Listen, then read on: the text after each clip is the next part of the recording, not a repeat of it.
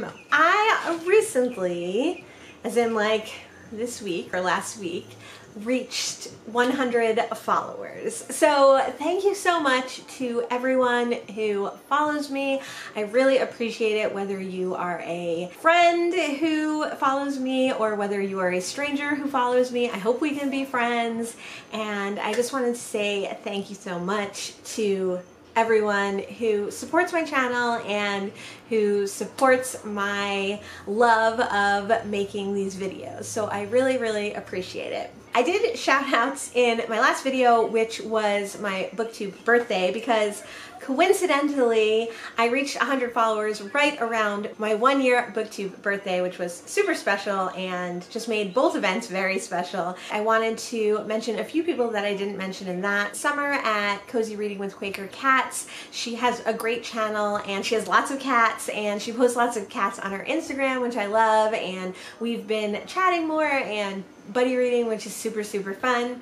I also want to mention Steven Elliott Wilson, who I know from way back in Brooklyn when we both bartended, and he often comments, like on Instagram, he'll comment about something or he'll mention a video, and it just means a lot to me. He also has a really great Instagram with so many pictures of like animals and spiders and frogs, so I love to see his stories and his Instagram and follow kind of his nature journey for 100 followers, I wanted to do a Q&A. So I asked on my channel and I asked on Instagram for people to leave me some questions. So I have some questions here. And then I have a couple of questions that nobody actually asked me, but I feel like I get asked a lot. So I was just gonna throw them in. But I also wanted to talk a minute about numbers. I'm super happy to reach this milestone and I do obviously want my channel to grow. I want more people to watch my videos. I want more people that I'm able to draw into my community. I want to create a community, um, not just for myself, but for the people in it. So the more people we have, the more channels there are to watch, the more Instagrams there are to see, the more people with more experiences there are to share, which is so great. I definitely think that YouTube and Instagram like lean you towards numbers, that like getting those numbers up there is not only desired but rewarded. Of course, we all know on YouTube, once you reach a thousand subscribers and 4,000 hours of watch time, you get monetized. So, you know, obviously that's a goal. That's like, it's not a bad wish. Doesn't everyone on YouTube wish that they get monetized? Doesn't everyone who enjoys making videos wish that they could make money making those videos as well and have more time and space to make those videos? I think we do.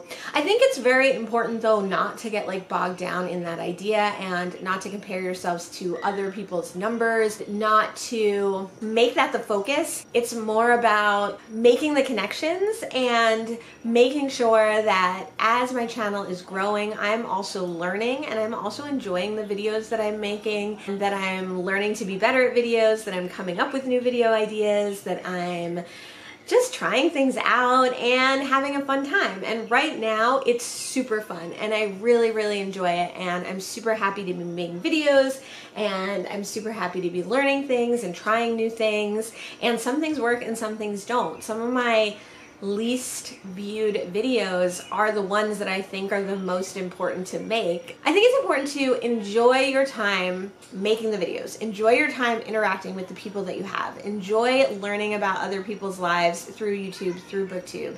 Enjoy the books you're reading. Don't read for the numbers. Read because you love it and, you know, it's kind of a if you make it, they will come kind of scenario. Not to bring baseball into everything all the time, but work on it and do a good job and enjoy it and put your heart into it, and people will see that and they'll respond. I hope that's true. That's how it feels to me. And so I just kind of wanted to say that about numbers. So the two questions that no one asked me, but I think are worth mentioning here are why the name of my channel is a little bit weird. Obviously, when you see my channel on your sidebar in YouTube, it's just my name, Ana Mo Shoshin. That's my name. That's kind of self-explanatory.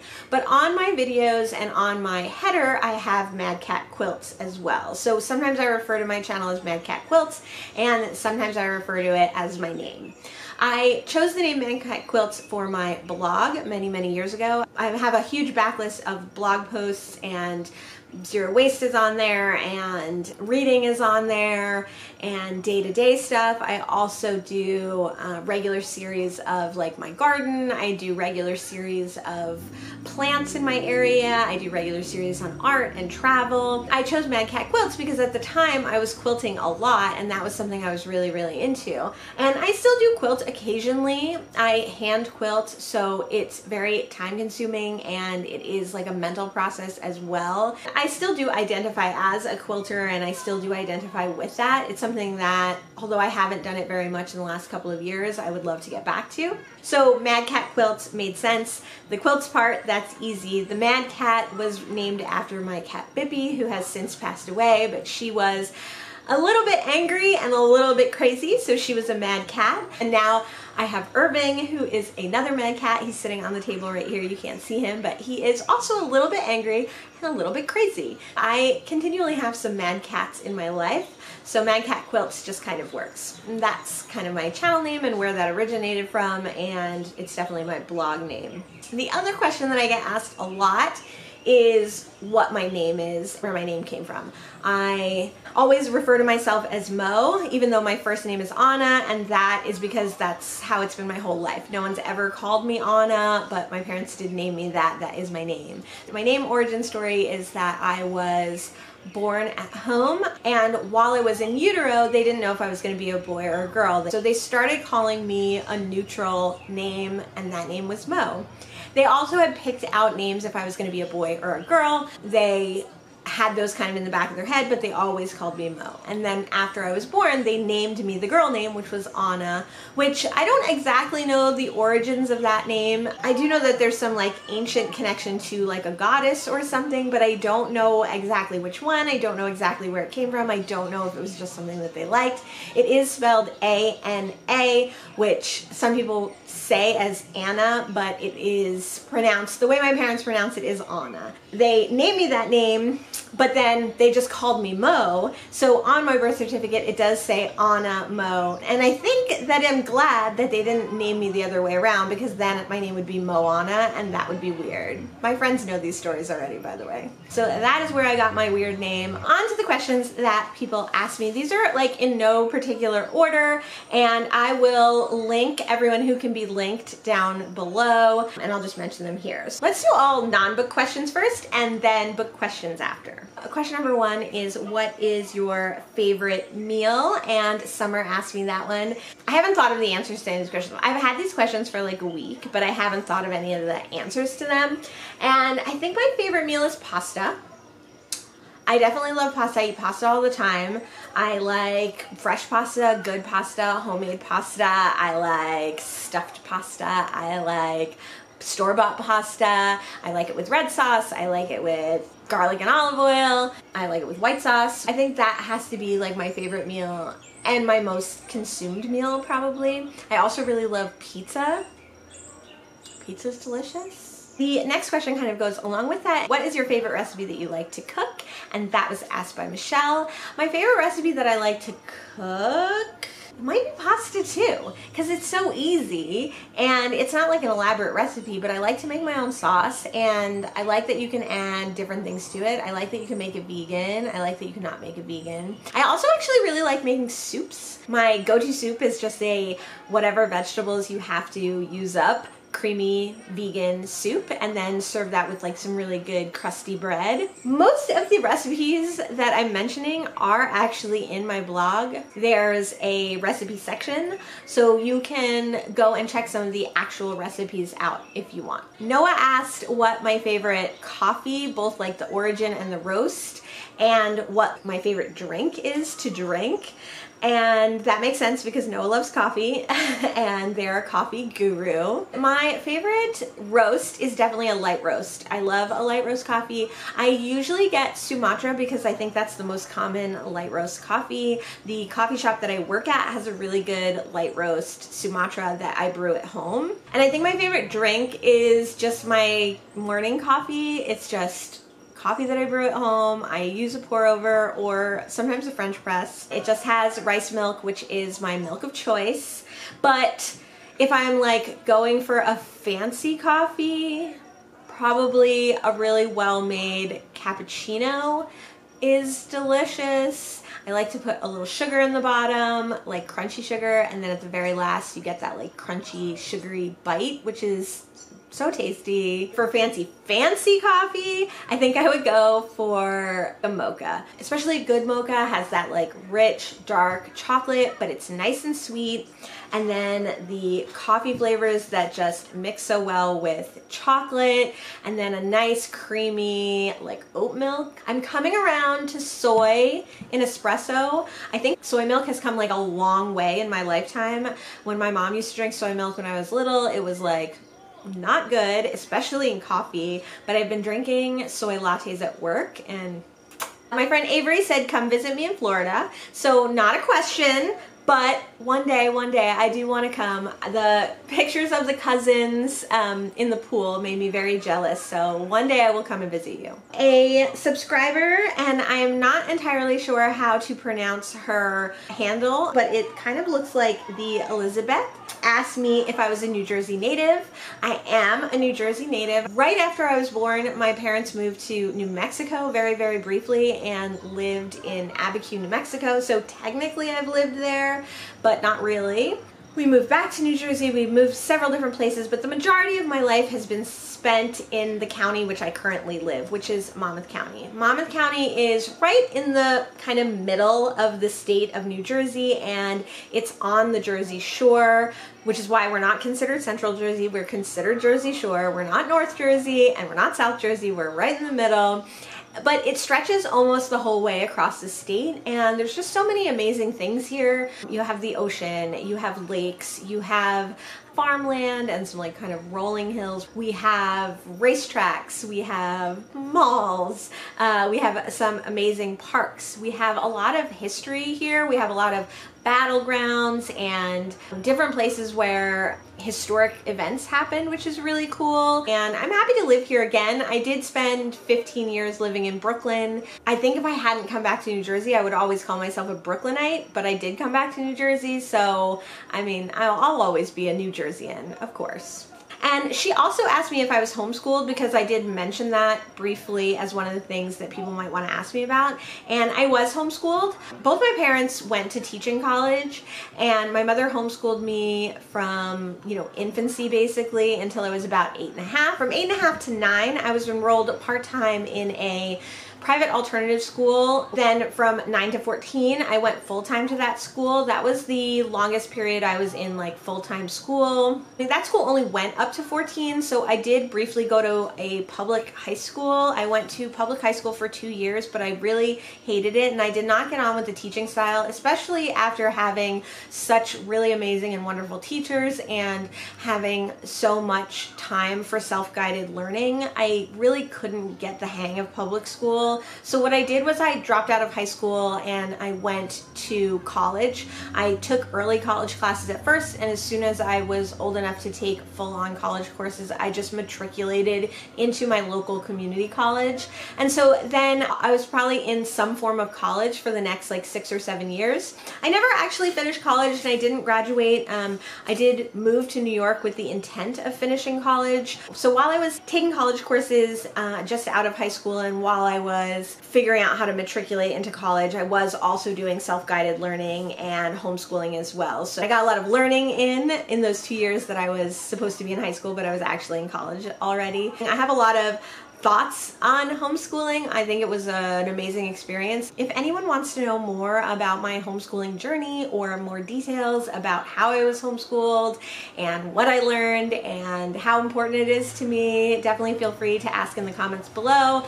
I would love to talk about it more. It's a subject that I feel very passionately about. Trevor, who is also a great supporter of my channel, he also is a person who contacts me via Instagram and lets me know that he's seen my videos and he was the first person to answer these questions, so thank you so much. Asked if I'm reading something and I'm not really into it, do I stop or do I just slog through? So I used to, without fail, slog through. I like never DNF'd a book. Even like books that I hated, like Twilight. I didn't read all three books, obviously, because it was horrible. I only read the first book, but I hate readed like 75% of that book. But now I'm not into hate reading and I'm not into slogging through and I'm definitely into DNFing. I think that a lot of times the books that I do end up DNFing, I will come back to at some point and I do want to finish. I think prior to booktube if I went into a reading slump I would go into a reading slump for months or year or years and I didn't know that you could just not do that. or I didn't think you could just not do that. So now that I know that, no reading slumps for me. I'm going to try to read books that are engaging and captivating and interesting to me and that I get along well with. And if I don't, I'm going to put them down. I don't just slog through them anymore though. I put them down. And then his kind of follow-up question was, what's a deal breaker that makes you stop reading a book? This hasn't happened yet, but it comes very close to happening sometimes. And a deal breaker that makes me stop reading a book is violence, and especially violence towards animals. I really just empathize and sympathize so hard that I cannot stomach reading it on the page. One of the books that I read in October had some animal violence and there was a part where you're kind of let in that a dog dies and if that dog had died in a gruesome way, I would have stopped the book there. Like if it was a malicious attack against animals, I would have stopped the book there and I wouldn't have read it anymore. Like I said that to myself in my mind. That that also is a deal breaker for me for TV and movies. Sometimes violence and especially violence towards women, depending on how it's depicted, will make me pause in a book and and think if I really want to continue reading it. But generally, I kind of stay away from books like that. There are some books that I've read. I've read some horror books. I've read Silence of the Lambs. They're obviously going to have murders in them. They're going to be gruesome. They're going to be bloody. And I think if I'm mentally prepared for that, that's one thing. But sometimes there are things that are too realistic. I think in contemporary fiction, in literary fiction. I think other than that, maybe too much sex in a book. Again, it, it depends on the context because I've read romances, steamy books, you know, I'm not like a huge smut reader, but like I could see it if I pick up a smut book, like there's gonna be smut in it. There's gonna be some sex. If I've heard that a book is like way, way too sexual, or if I've heard that a book has animal violence, like Bunny by Mona Awad, I'm super interested in Bunny, but I don't think I could read it because of the animal violence. Those are like my deal breakers. Mostly the animal violence, sometimes people violence, occasionally other things. Noah also asked if I've ever been into reading ebooks, and no, I've actually never read an ebook. I don't have an e-reader and I don't have an iPad, so I would have to read it on my phone or the computer, which doesn't make sense to me because if I'm going to read it on the phone or the computer, I'd rather just have the physical book. I'm a physical book person. Like I like to listen to audiobooks, but reading a book to me is just a special experience. Finding old books and finding vintage copies, frayed edges, or people writing in the book or annotating. Like, I love that physical presence of the people who have read it before, since the majority of my books, I mean, almost every single one of my books is secondhand. You know, there's always the presence of other people having touched and manipulated and enjoyed this physical object. Let me know, Noah, if you like reading ebooks because I know that you are very much a person who reads physical books and that you like to go to bookstores. So I would be really interested to know if you've been reading ebooks, especially while you've been in Hawaii. The last question was from Mishelle again, and that is if I had a book that doesn't get talked about a lot, that or books that don't get talked about a lot that everyone should read, and what would those be? Some books that I would recommend. I haven't seen people talking about that I think are relevant and important and that people should read for the idea of self improvement and improvement of the world is maybe The Good Life by Scott and Helen Nearing and some of those early pioneer people, pioneer hippies, not early like pioneers, like early, early, but like in the 60s. The, the Nearings were from like the 30s to the 70s, from like the 60s. There are some now. I don't like their writing as much, the ones that I've read. Scott and Helen Nearing's The Good Life is all about how to create the world that you want to live in. So, a world where it's not monetary based, a world where you can grow your own food, a world where you can share with your neighbors, a world where your skills and labor are traded for other people's skills and labor.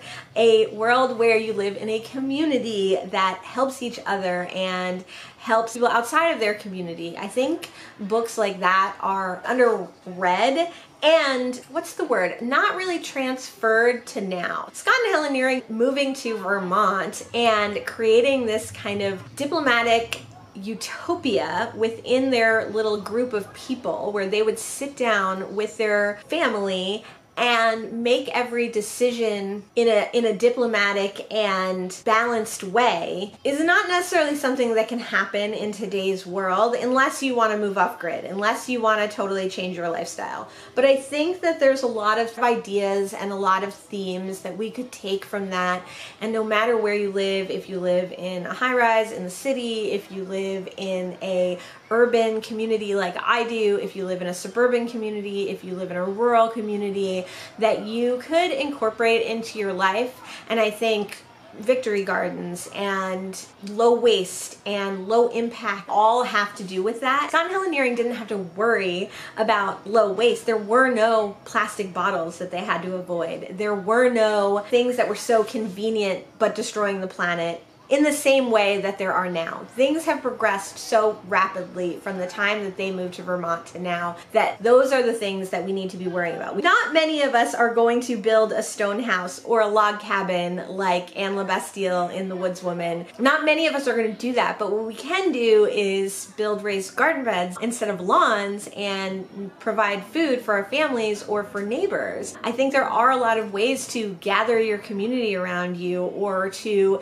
utilize things that already exist. There's potential to do a lot of the pioneering that they did on a scale and in a system that would work today. So I think that those are books that I think everyone should read and I think everyone should incorporate. I think the themes of low impact, the themes of zero waste, the themes of community are like things that people should be connecting more with now than ever, more than ever. As far as fiction or just favorite books, what comes to mind is The Island of Dr. Moreau, which I've talked about a lot this year and I reread earlier in the year. And I think if you're not into classics, that's a great classic. If you're not into sci fi, that's a great sci fi. If you're not into allegorical writing, that's a good one. It has a lot of lessons, but it's also thrilling, it's adventurous, it's interesting. Obviously, that's a well loved classic book, but I think that would be a book, if you haven't read it, you should read it. Those were all the questions. Again,